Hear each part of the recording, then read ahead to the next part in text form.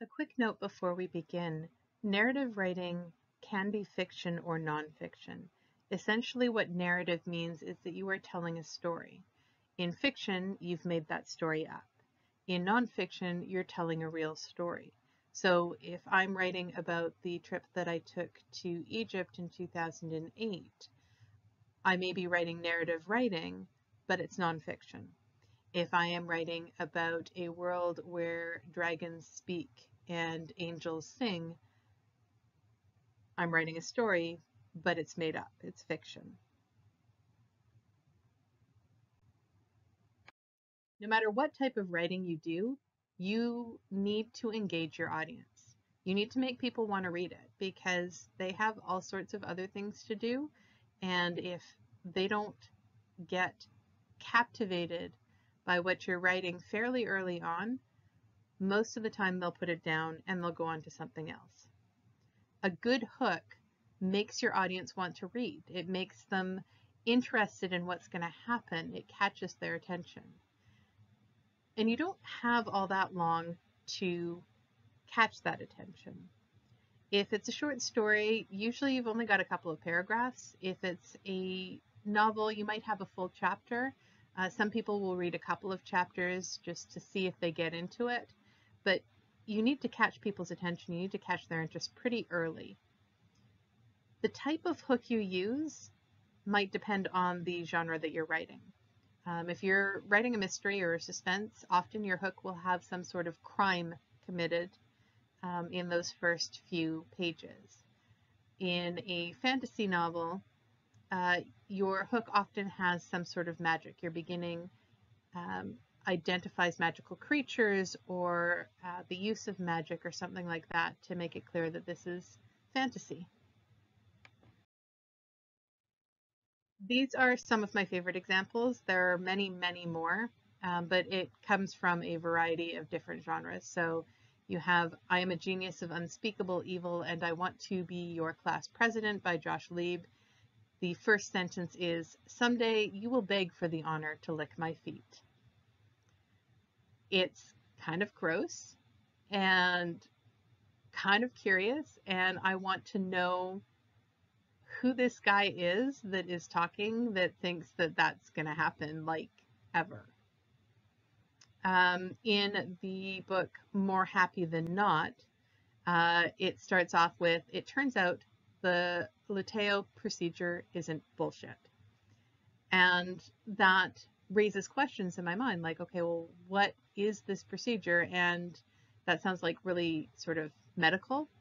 Um, and clearly people think that it's not going to work, that it's not a real thing. So why does it? Why do they think that? And why does this narrator say that it's actually, it works?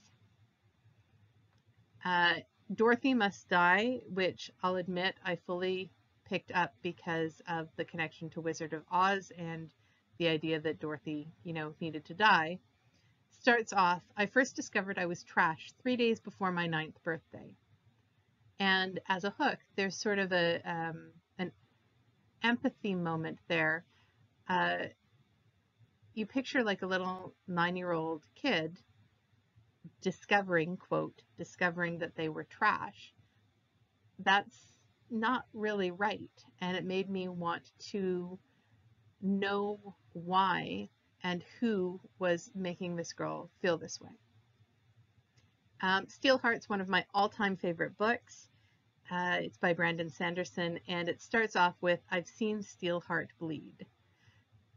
And I think it's the incongruity of that that makes me, um, made me interested in, in reading more. First of all, everybody bleeds, so I'm not sure why that's such a interesting thing to say. But second of all, you've got this steel heart, um, which has this idea that that um, there's not going to be any blood because steel, you know, doesn't bleed. Um, so I wanted to know more. Uh, and then again, uh, Uglies, one of the best books I've ever read, um, super popular with my students uh, by Scott Westerfeld starts, the early summer sky was the color of cat vomit. And I just picture this this sky that is this really gross color. Like it's just such a vivid image that it caught my attention and made me want to read more. Notice with each of these, what happened was there was something about it that I wanted to know more.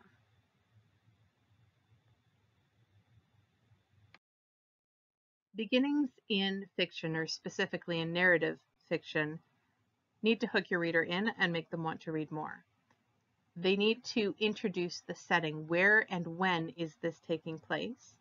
They need to introduce at least some of the characters and usually the main character. And they need to introduce the problem that your character is going to face.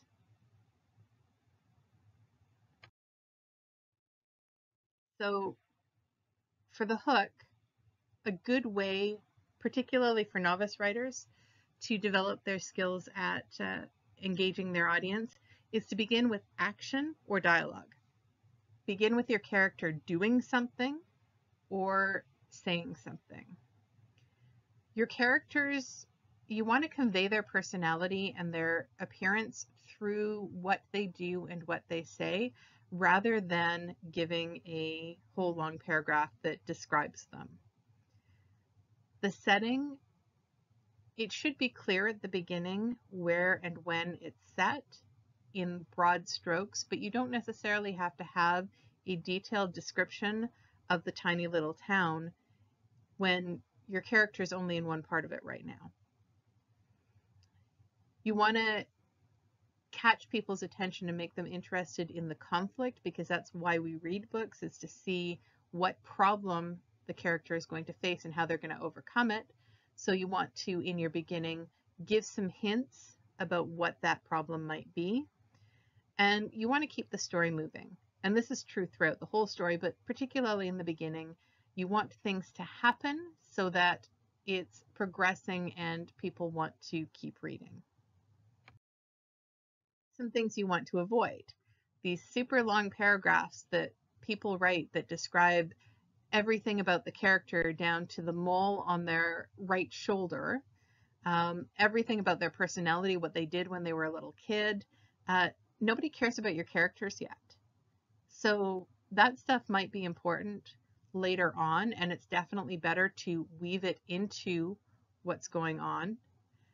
But right now, I need to know enough about your character that I'm actually interested in finding out what happens to the person.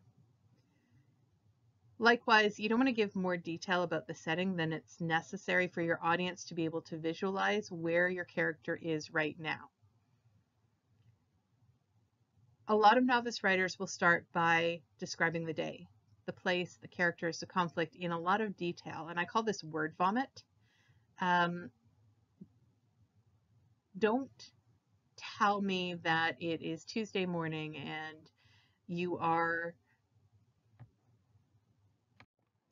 sitting at the bus stop with your little sister and you guys just had pancake breakfast and your mom was yelling all morning because she didn't get enough sleep. I, I don't care yet. Um, have your character do something that is not just sitting at a bus stop thinking about all of the things that have happened that morning. When you're talking to your friends, usually you don't begin with a list of everything you've done up until that day.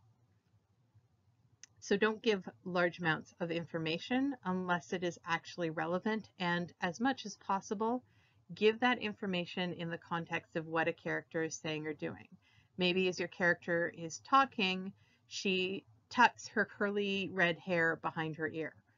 Now I know that she has curly red hair, but I also didn't have you tell me that it was part of what she was doing. So here is an example um, of what I see in a lot of novice writers and a way that you could improve it. Uh, instead of, it was Tuesday morning in the Henson household and Jeff really didn't want to get up. He hated Tuesdays with a passion. That was his mom's, days, his mom's day off and she was relentless in the morning. Jeff liked to lounge about in bed, sleeping until the last possible moment, then jump up, throw on whatever clothes smelled clean from his floor, grab his backpack and unfinished homework, and book it for the bus. Breakfast was for losers. When his mom was home, however, she woke him early for a proper start to his day, making him shower, brush his teeth and hair, get dressed, and often sent him back to wear something, quote, less hobo, and then join her for a leisurely breakfast full of fun mother-son bonding. Today was no different, unfortunately. So in this, I have told you a bunch of information. I've given you a bunch of background information uh, about my character, but there is not really any action. There's not really any, well, there isn't any dialogue. So conveying some of that same information, but in a more engaging way, you could write, Jeff, honey, you awake yet? Jeff pulled his covers over his head. Apparently it was Tuesday. No, he replied, the sound muffled. That didn't work any better than it had any of the previous weeks. His mom opened the door and made a face. You really need to air out this room, she told the mound on the bed. And do your laundry, she added, looking at the cover clothing covered floor. She came over and pulled the covers off. Get up and get ready for breakfast, Jeffy, she said in a sing-song voice. It's family time. Jeff groaned and tried sticking his head under his pillow. His mom grabbed it and smacked him with it. And take a shower. I'll expect you down in 15 minutes and then you can tell me how things are with you. They'd be better if you'd just let me sleep until the bus comes as usual, Jeff muttered after his mother left the room. I heard that. Couple of things to notice here. There's dialogue and there's action. And the description that is there is in the context of other things. Um, you know about the clothing covering the floor because the mom looks at it and says, do your laundry. You can tell that this has happened many times before with apparently it was Tuesday and that didn't work better than it had any of the previous weeks. So a lot of the same information is there, but it's in the context of the plot um, moving forward.